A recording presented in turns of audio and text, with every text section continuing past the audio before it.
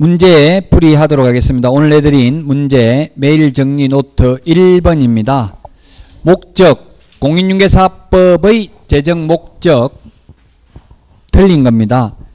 공인중개사의 업무 등에 관한 사항을 정하여 그 전문성을 제고하고 부동산 중개업을 중개업을 건전하게 육성합니다. 중개 업무 육성한다. 중개업자 육성한다. X 그리고 국민 경제 이바지하는 것을 목적으로 합니다.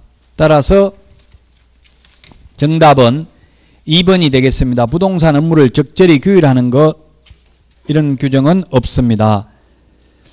그래서 우리 기본서에도 보면은 목적이 아닌 것을 박스 안에 적어놨는데 5페이지 맨 밑에 보면 부동산업의 육성, 수요 공급 조절, 토지 공개념 도입, 그 다음에 투기 억제, 국토의 효율적 이용, 부동산 거래의 적절한 규제, 국민 재산권 보호, 공공복리 이런 말 들어가면 다 X입니다. 명문으로 규정된 목적은 아닙니다.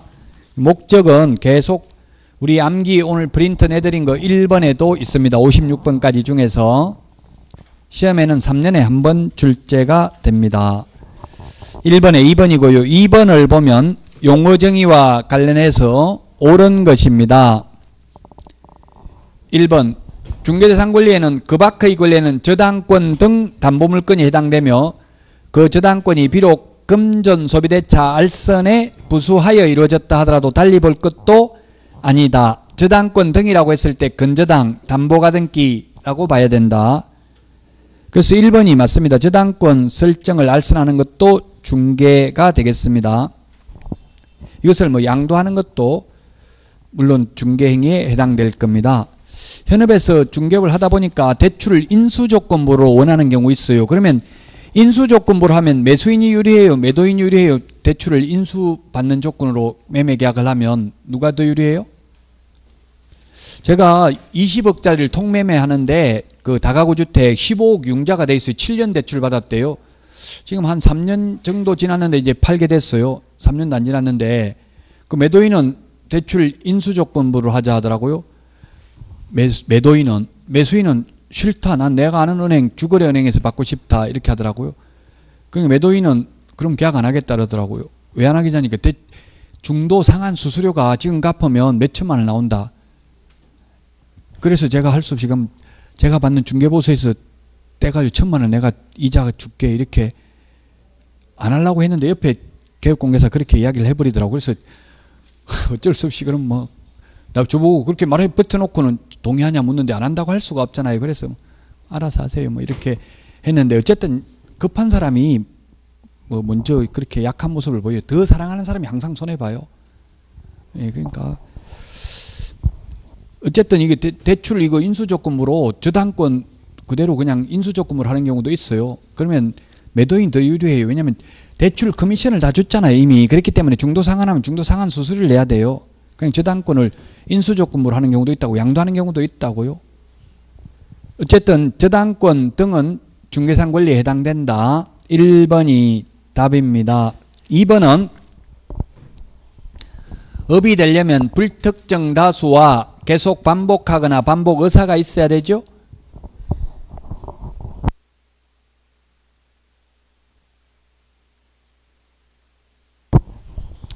따라서 우연한 기회에 단 한 번 전세 중개하고 보수를 받았다는 사정만 가지고는 업으로 했다고 볼 수 없다. 오로지 한 번밖에 안 했다면 그러면 열번 하면 중개업이냐 이렇게 단정적으로 물론 말할 수는 없다. 받은 보수 금액, 횟수, 태양 등을 종합적으로 고려하여 사회 통념상 판단해야 된다.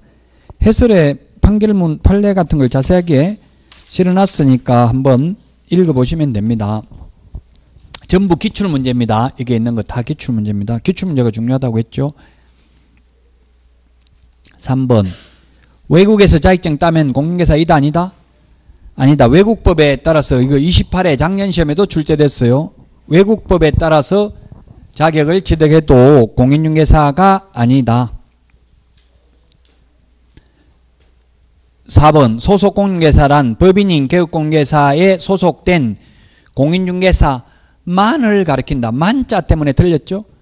소속공개사는 개업공개사의 종류가 세 가지잖아요. 법인인 개업공개사, 공인중개사인 개업공개사, 법 7638호 부칙 제6조 2항의 규정에 의해서 등록을 한 것으로 보는 자 세 가지 종류가 있기 때문에 소위 중개인 밑에 소속될 수도 있다 이 말입니다. 그래 법인에게만 소속된다 해서 X입니다. 5번 중개보조원이란 공인중개사가 아닌 자로서 여기까지 맞고요. 개업공개사에 소속된다는 말도 맞고요. 중개사물에 대한 현장 안내까지도 맞죠. 근데 확인 설명 의무를 부담하는 자다. 이게 X죠. 확인 설명, 확인 설명서 작성, 계약서 작성 등 중요한 업무는 중개 업무에 해당되므로 소속 공인계사는 할 수 있지만 보조원을 할 수 없다. 소속 공인계사도 계약서를 작성할 의무는 없어요. 다만 계약서를 작성했을 경우 서명 및 날인 의무는 있죠. 서명 및 날인 의무는 있다. 지금 진도는 아니지만 인터넷에서 뭐 제 밴드에 수- 수험생이 질문 올린 게 있어서 하나만 말씀드리면 계약서하고 확인 설명서하고 확인 설명 하지 않거나 확인 설명하지 않거나 근거 자료 제시하지 않는 경우가 있고요. 그 다음에 확인 설명서에 서명 및 날인하지 않는 경우가 있고요. 서명 및 날인하지 않는 경우. 그 다음에 확인 설명서 작성, 교부, 보존, 보존하지 아니한 경우 제재가 있고요. 이걸 구분해서 정리를 해야 돼요. 계약서, 거래 계약서, 거짓 계약서, 이중 계약서, 다운 계약서, 업 계약서, 그냥 이중 계약서라고 하겠습니다. 거짓 계약서를 작성한 경우가 있고요. 그 다음에 계약서에 서명 및 날인하지 않는 경우가 있고요. 서명 및 날인하지 않는 경우가 있고 그 다음에 역시 계약서 작성, 교부, 보존 해야 되잖아요. 이게 보존 5년 동안 보존해야 되죠. 하지 않는 경우 위반 시 제재. 확인 설명 하지 않거나 근거 자료 제시하지 않는 경우 개업 공인중개사는 500만 원 이하의 과태료고요. 소속 공인중개사는 자격 정지 사유입니다. 자격 정지. 서명 및 날인 의무를 위반한 경우에 개업 공인중개사는 업무 정지고요. 업무 정지.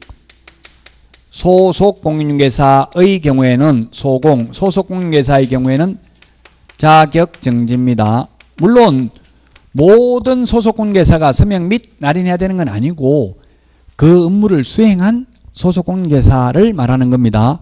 소속 공인중개사가 10명 있으면 10명 다 해야 되는 거 아니죠? 그 중에서 그 업무를 당의 업무를 수행한 소속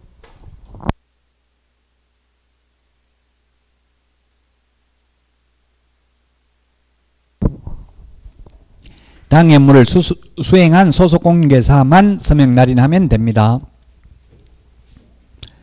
계약서 작성 보존 의무를 위반하면 개공은 개업 공개사는 업무 정지입니다. 소속 공인중개사는 계약서 작성 보존 작성할 의무도 없고 교부할 의무도 없고 보존할 의무도 없어요. 소속 공인중개사가 확인 설명서 3년 보존해야 되는데 3년 되기 전에 거의 다 잘려요. 자기가 먼저 잘리는데 어떻게 보존 의무 없죠? 교부할 의무도 없어요. 의무는 없는데 다만 작성할 수도 있고 교부할 수도 있죠. 그건 할 의무는 없습니다. 소속 공개사 없기 때문에 처벌 규정 없어요 안 해도. 이중계약서, 다운계약서를 적으면 개업 공개사는 임취, 임의적 등록 취소 사유입니다. 근데 이중계약서를 적었다면 거짓계약서를 적었다면 소속 공인중개사의 경우에는 소공의 경우에는 자격 정지입니다. 서명 날인하지 않는 경우 계약서에 개공은 업무 정지, 소공은 자격 정지,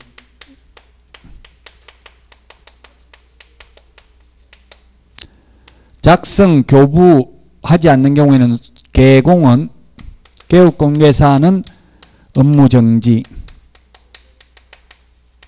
소공은 작성 교부 보존 의무는 없다고요. 그래서 시험에 다음 중 자격 정지 사유에 해당되면서 또한 업무 정지 사유에 해당되는 것은 몇 개인가 이렇게도 출제됐어요. 여기서는 둘 다 해당되는 거 뭐예요? 이거 이거잖아요. 서명 및 날이는 뭐 요거는 둘 다 요거는 자격 정지 업무 정지에 해당되죠.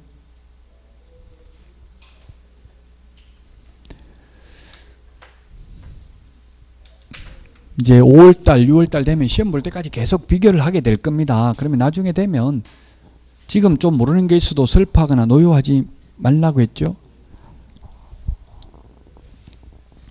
그 성격이더라고 성격. 성격 들어온 사람이 공부는 잘하긴 잘해요. 저도 와이프는 막 못 견디 하더라고. 뭐 하나 하면 막 그걸 막 참 이해가 안 돼. 저는 뭐 대충 하다 안 되면 그냥 포기하거든요. 안 되면 포기하는데 막 끝까지 알아야 되고 막 못 견디가 자기 몸을 학대하더라고.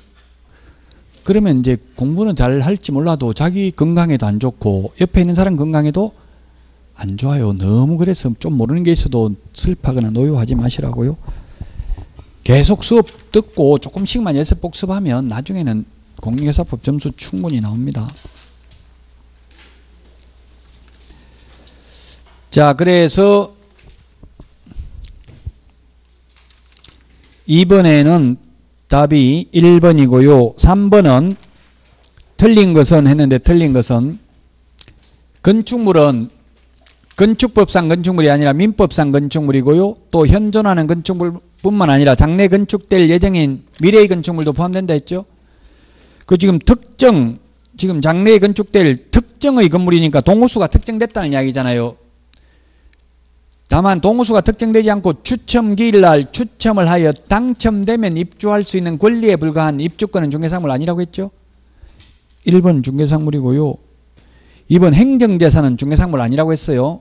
일반 재산은 원칙은 아닌데 예외적으로 될 수도 있다. 3번은 소위 권리금이에요. 이게 권리금은 중개사물 아니라고 했죠. 권리금 중개사물 아닙니다. 영업권리금, 바닥권리금, 시설권리금이 있는데 지금은 이건 뭐예요? 이건 무형적 가치 예, 통칭해서 권리금이라고 부릅니다. 이것을 그 다음에 4번 이주자 택지를 공급받을 수 있는 이른바 대토권 인터넷에 그래서 이택 이주자 택지를 공급받을 수 있는 택지 협택 협의 매수자 택지 생활 대택용 택지 이렇게 인터넷에 치보면 나와 있어요. 이택, 협택, 생택 이런 거 현업에서는 중개 많이 하고 있어요. 현실적으로. 근데 원칙적으로 이제 이 이주자 택지라고 무조건 안 되는 게 아니고 어, 일정한 기간이 지나면 가능할 수도 있어요. 이제 위치와 면적이 특정되면 그 대신에 위치와 면적이 특정되면 가격이 비싸지겠죠. 특정되기 전에는 이게 제대로 나올지 안 나올지 약간 불안하잖아요. 사람 심리가 그러니까 좀 싸요 가격이. 그러다가 위치와 면적이 특정되고 나면 그때부터는 비싸져요. 그 위치와 면적이 특정되기 전에를 이, 어, 이거 대토권이라고 불러요. 대토권. 대신 토지로 받는 권리잖아요. 대토권. 현금 보상 대신에 토지로 받는 권리를 대토권이라고 해요. 대토권. 이건 어디에 있냐면 공익사업을 위한 토지 취득 및 보상에 관한 법률에 있다고요. 그 택지지구 내에 건물을 가지고 있던 사람에게 주는 게 이택의 이주자 택지를 공급받을 수 있는 지위. 협택은 협의 매수자 택지라고 해가지고 그냥 LH가 하자는 대로 따라서 팔면 주라, 돈 준다는 대로 받고 하면은 착하다고 또 협의 매수자 택지 줘요. 근데 막 끝까지 수용 뭐 재결 중앙토지 수용위원회에 재결을 신청하고 이렇게 하면은 안 주겠죠 이거 계속 투쟁하는 사람들한테는 안 줘요 협의 매수자 택지 그래서 여러분들 토지가 그냥 수용된다고 하면 빨리 영하는 게 더 나아요 사실은 두 안 그러고는 땅못 팔아요. 이게 수용돼야 오히려 지금은 수용돼도 감정 가격으로 하잖아요. 그 시세대로 거의 받아요, 요즘은. 생활 대청령 택지 이거는 뭐냐면 거기에서 영업하고 있는 임차인들 이런 거 영업권을 보장해 주는 거예요. 생활 대청령 택지라고 있어요. 인터넷에 궁금하면 찾아보면 되는데 어쨌든 이런 대토권은 지금 판례가 중개사물이 아니다. 위치와 면적이 특정됐을 되 지 않았기 때문에 나중에 면적에 따라 위치에 따라서 또 가격이 달라질 수 있고 그러니까 분쟁의 소지가 있으니까 하지 말라는 이야기예요. 이게 그래서 어떤 일이 있었냐면 이주자 택지를 중개해 줬어요. 이게 중개상물이 아니라고 해서 무조건 개업공개사가 하면 안 된다는 뜻은 아니에요.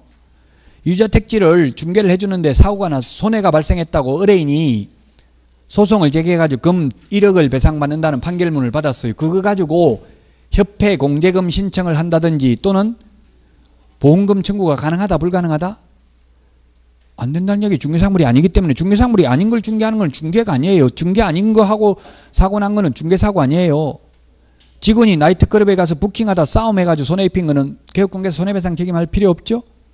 중개행위가 아니니까. 그 이거는 중개상물이 아니다 판례가.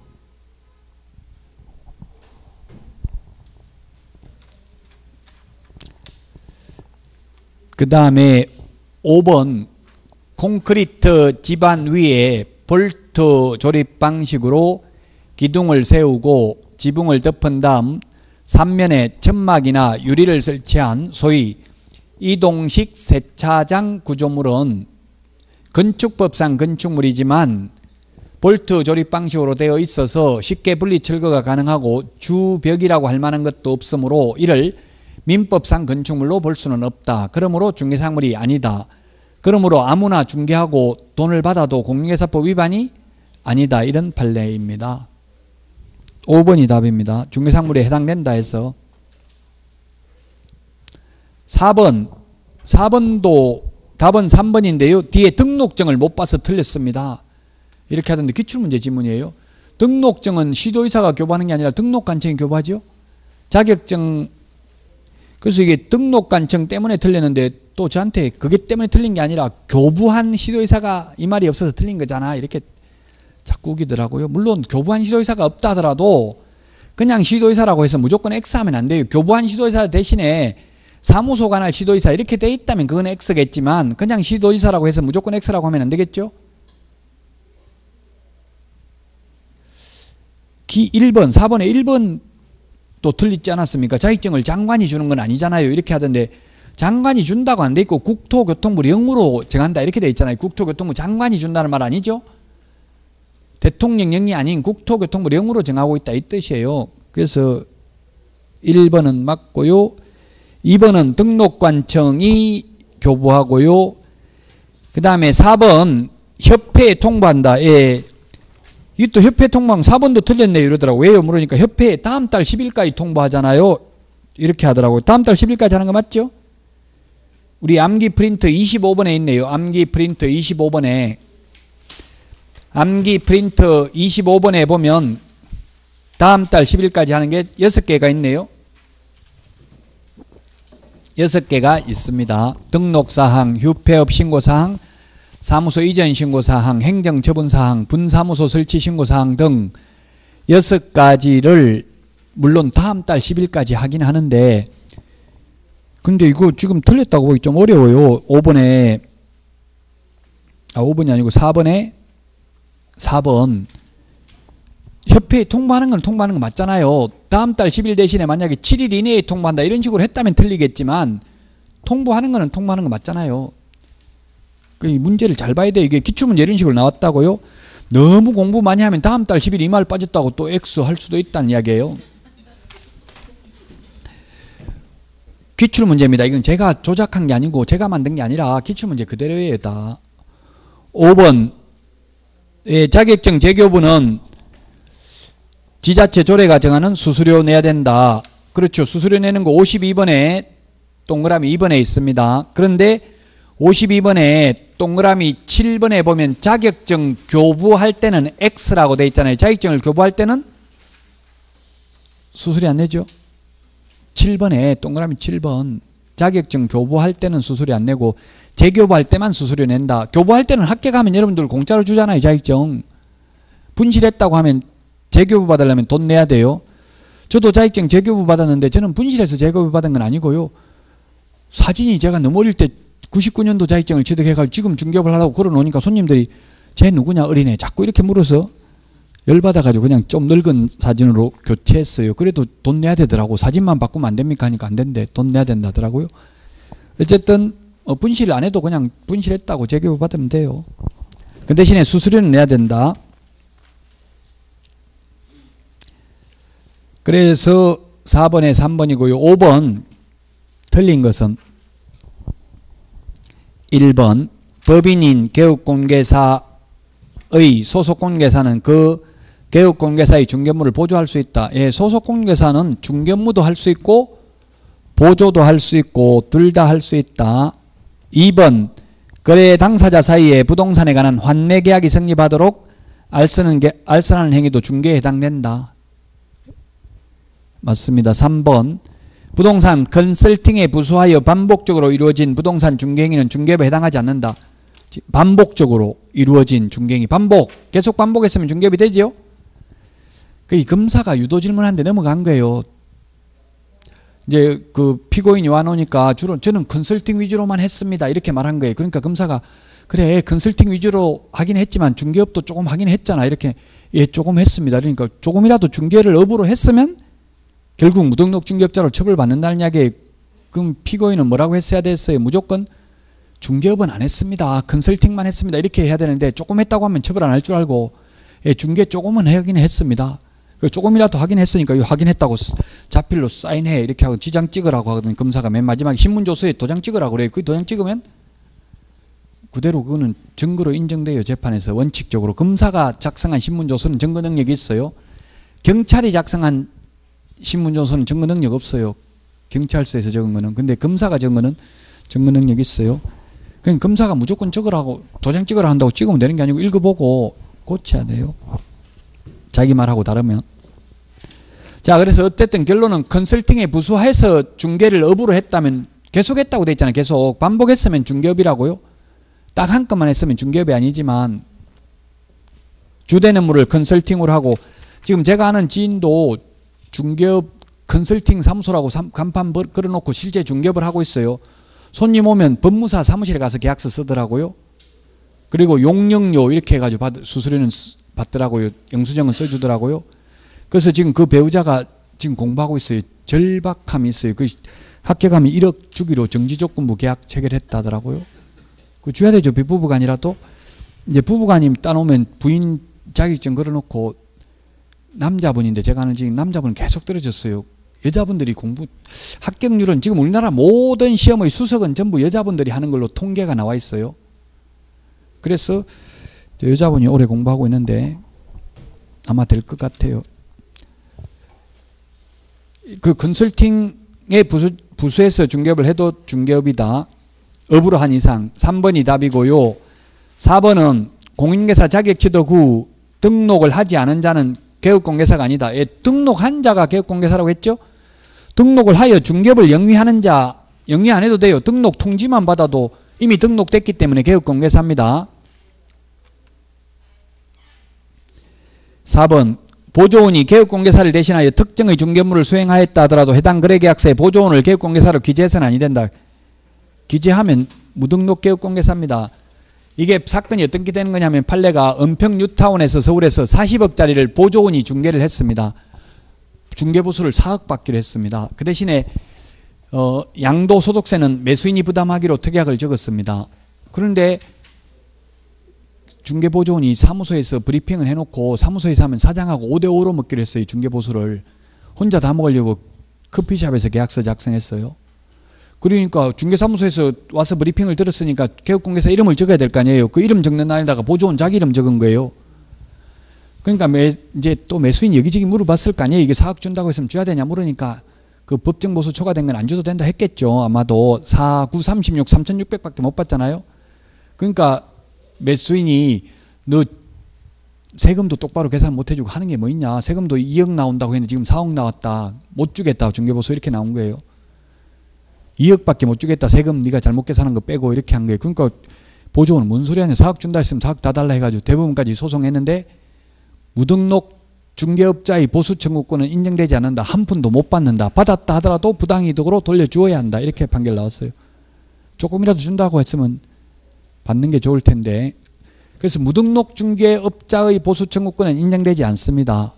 그러나 우연한 기회에 한두 번 중개를 하고 보수를 받기로 약정했다면 사회통념상 과다하지 않는 보수라면 받아도 된다. 사회통념상 너무 과다하다면 과맥, 감액 청구는 할 수 있다. 이게 판례예요. 그 무등록 중개 행위 한두 번 하고 받는 거는 받아도 된다고요. 중개업자, 무등록업자, 직업적으로 하는 사람은 안 된다. 이 말에 무등록업자는 보수청권이 인정되지 않는다. 한두 번 중개하고 보수 받기로 한 거는 여러분들은 한 번 한 건 중개하고 중개 보수 받아도 법 위반이 아니라고요. 직업적으로 한 게 아니기 때문에. 근데 무등록업자는 그 보조원이니까 그 사람은 계속 손님 오면 받을 가능성이 많죠. 그러니까 그건 안 된다고. 업자잖아요. 업자 직업적으로 하는 거잖아요. 그런 건 안 된다. 6번입니다. 6번. 정책심의원회에 관한 설명으로 틀린 것입니다. 위원장은 국토교통부 제1차관입니다. 장관 아닙니다. 2번 심, 정책심의위원회는 위원장 1명 제외가 아니고 포함해서 홀수해야 됩니다. 민주적 정당성을 확보해야 되니까 과반수 출석, 과반수 찬성 11명 이상, 아 7명 이상 11명 이하입니다. 공인 어, 협회 공제운영위원은 19명 이하죠. 주택임대차위원회 위원은 9명 이상 15명 이하입니다.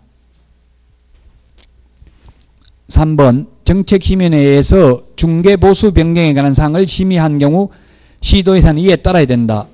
앞에 우리 교과서에서 자격 취득에 관한 사항을 심의한 경우 이에 따라야 됩니다. 즉 자격 시험 문제는 시도별로 똑같아야 되지만 보수는 시도 조례로 다르게 정할 수도 있잖아요. 앞에 있었어요. 교과서 시- 보수를 따라야 되는 게 아니라 자격 취득에 관한 사항을 심의한 경우 이에 따라야 된다. 이렇게 돼 있었습니다. 3번이 틀린 정답입니다. 4번 심의위원회 위원이 해당 안건에 대하여 연구, 용역 또는 감정을 한 경우 심의위원회의 심의 의결에서 제척된다. 빠져야 된다. 배제된다. 만약에 안, 빠, 안 빼주면 스스로 회피해야 된다. 나는 안건 당사자와 이해관계 있기 때문에 안 하겠다. 심의 스스로 회피해야 된다. 기피 신청은 안건 당사자가 정책심의회 위원을 바꿔달라고 교체해달라고 요청하는 걸 기피 신청이라고 합니다. 5번 위원장이 부득이한 사유로 직무를 수행할 수 없는 때에는 위원장이 미리 지명한 위원이 그 직무를 대행합니다. 부위원장이 대행하는 게 아니고요. 따라서 정답은 3번이 되겠습니다. 여기까지 하고 다음 시간은 이제 36페이지 중개사무소 개설 등록 결격 사유부터 하도록 하고 오늘은 여기서 마치겠습니다. 수고하셨습니다.